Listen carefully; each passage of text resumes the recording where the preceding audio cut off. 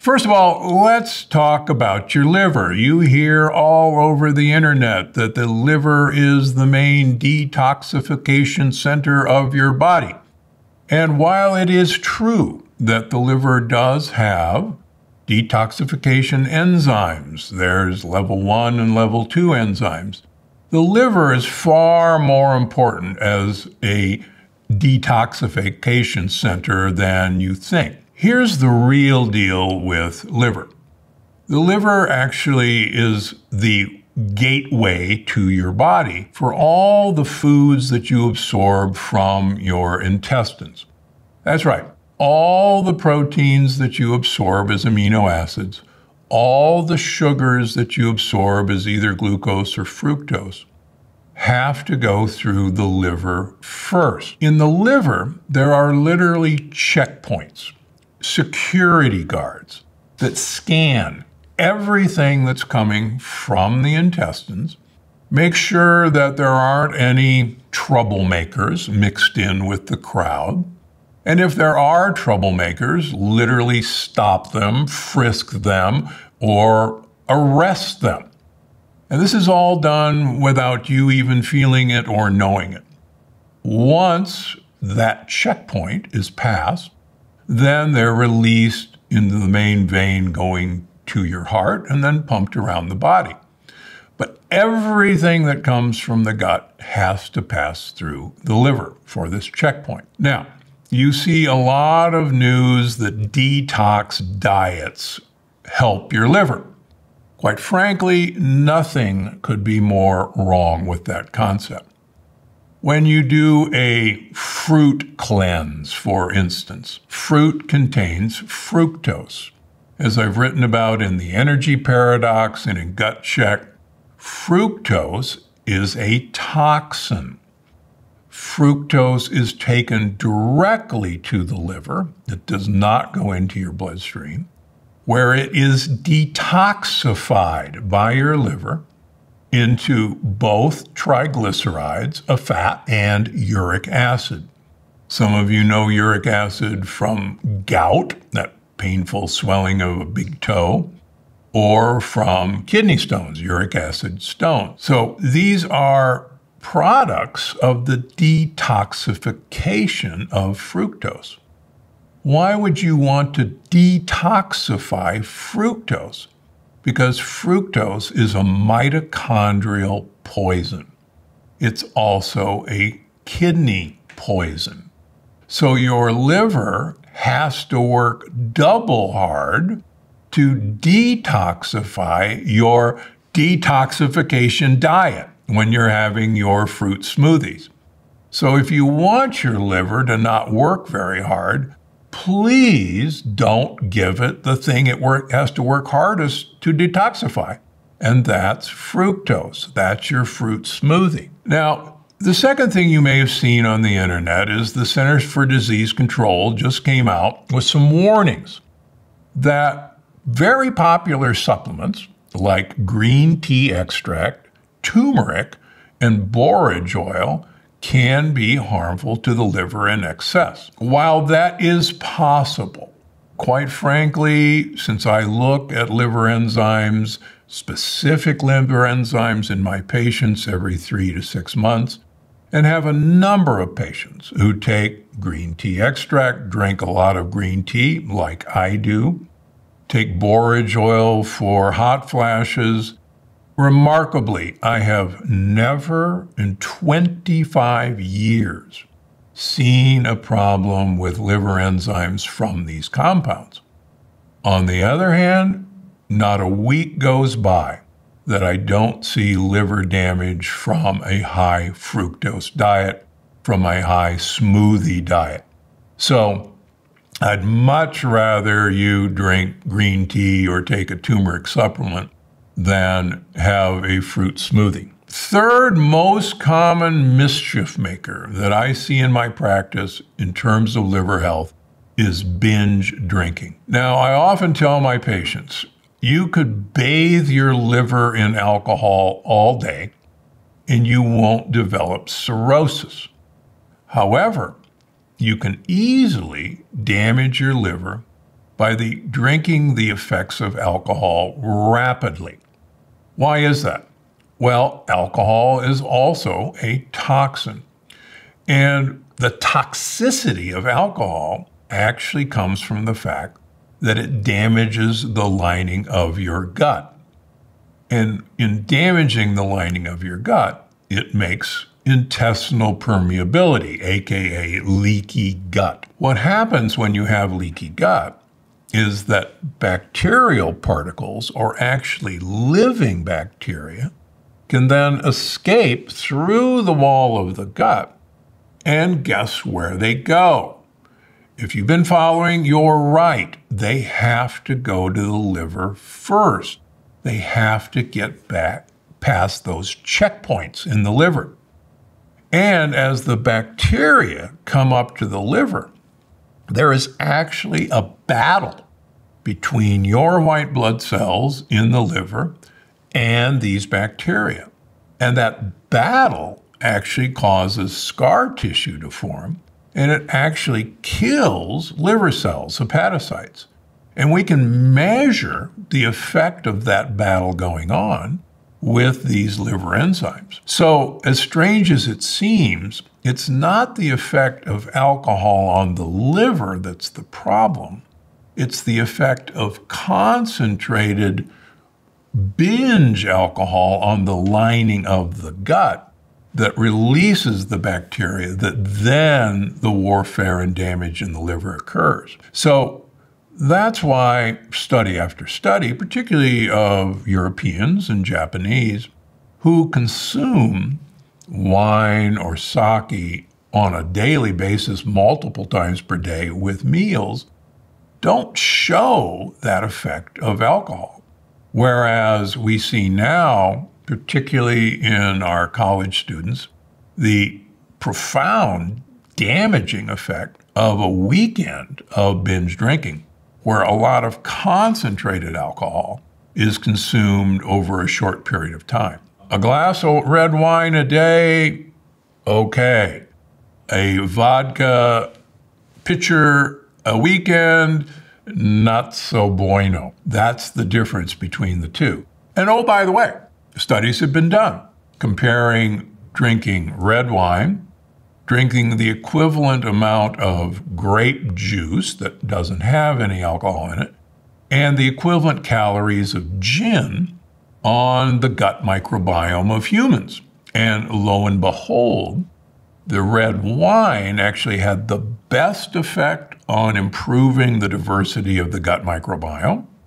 The grape juice was second, and sorry to report, the gin was detrimental to the biodiversity of your gut microbiome. When we think about alcohol, we actually have to think about the type of alcohol that's being delivered. Here's one that may surprise you, but I used to see it all the time when I was an emergency room physician. Excessive Tylenol use, acetaminophen. Acetaminophen in high doses is very damaging to the liver it was really good at killing liver cells. And we see well meaning people thinking that, oh, Tylenol is the pain reliever that we give in hospitals, which is true. Tylenol is the fever reducer that we give in hospitals, which is true. So if Tylenol is used in hospitals, it must be safe because otherwise, why would we use it in hospitals? The problem with Tylenol is if used to excess, if trying to reduce pain, if trying to reduce a fever, it can be very damaging to the liver. So, what do we do when we see Tylenol toxicity in the emergency room? We actually give you N acetylcysteine, NAC. Now, you may have heard of NAC because it is a popular supplement. A couple years ago, believe it or not, the FDA banned NAC from sale on Amazon and other sites because they had declared 70 years ago that N-acetylcysteine was a drug and not a supplement because we used it as a drug for acetaminophen poisoning. After a couple of years, the FDA realized that that was silly that it is actually a supplement, and you may have noticed that NAC came back on the market. So the proviso here is if you are a Tylenol user, you really should consider taking one or two doses of NAC, about 500 milligrams each time, as a way of preventing the toxicity of acetaminophen on your liver. A similar compound exists in Europe called paracetamol. They're cousins. So if you're listening in Europe, paracetamol is the same problem as acetaminophen or Tylenol. Now, let me tell you some sad stories about colloidal silver. Many of you heard that silver, colloidal silver, is a really cool antibacterial compound. And I have a lot of experience with silver as an antibacterial compound. When I was researching at Loma Linda University, we got the smart idea that if we put in valves in patients, they have the potential because they have a sewing ring that's made out of fabric. That sewing ring has the potential to get infected with bacteria. And quite frankly, getting infection on an artificial heart valve is a disaster. We usually have to emergently operate on someone and take that valve out. We can't sterilize it with antibiotics. Knowing that silver was an incredibly useful compound for killing bacteria, a valve company asked us to try a silver impregnated sewing ring in animals, and it actually worked very well. So well that other studies at other institutions also showed the same thing. And so the FDA approved a silver impregnated sewing ring for valve implantation. Lo and behold, it didn't get infected, but normally when we put a valve in somebody, that sewing ring gets covered up by your own tissue growing into it, healing it. What we learned very shortly is the silver in that sewing ring prevented normal tissue from growing, not just bacteria. And so people actually developed blood clots on these sewing rings, which was unheard of prior to using this. And thankfully, those sewing rings are no longer on the market. But that taught me a very valuable lesson that silver is really good against bacterial growth. But here's the bad news silver is really bad for normal cell growth as well. So if you're one of those persons who think silver is the antidote to everything that ails you, let me assure you that's not the way to go. You don't drink the stuff, please. Now, putting some colloidal silver on a cut is just fine, but you're probably far better off by using a topical antibiotic like Neosporin or polymyxin B, which have been shown in clinical trials to speed healing of cuts and abrasions. Stay away from drinking silver. I do have one patient who became a blue man. You, I'm sure you've heard of them. He literally turned blue from drinking his colloidal silver. And he's still blue, sadly. Now, the good news is those valves that were put in were exchanged successfully. And the vast majority of the valves didn't have to be changed, but it was discovered in the valves that needed changing that was the silver that was preventing the normal ingrowth. So there's uh, something to think about when you're thinking about silver. Now, are there a few supplements that can actually help the liver? Well, the main objective in helping the liver believe it or not, is increasing type 1 and type 2 detoxification enzymes. And there's another number of supplements that have shown that that works. One of the granddaddies of liver support is milk thistle. Now, milk thistle is a polyphenol. Milk thistles are cousins of artichokes. And believe it or not, artichoke extract and artichokes are also very good at increasing type 1 and type 2 detoxification enzymes in the liver. But one of the interesting ways that they work, which we've only recently discovered, is they don't work actively in the liver. What they do is they work by changing the gut microbiome.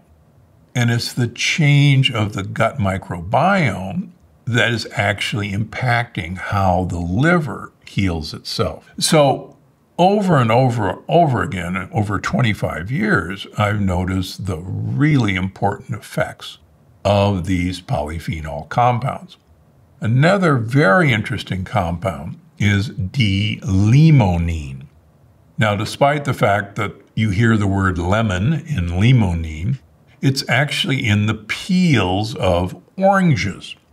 And D-limonene and milk thistle and artichoke extract are part of my Gundry MD liver support formula.